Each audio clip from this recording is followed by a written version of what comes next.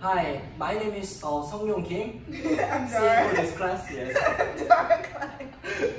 And then we are going to show you um, tango move, one of the tango move called Ocho Cortado. Okay, show you. One, two, three, four, five, six, and ocho, ocho, ocho.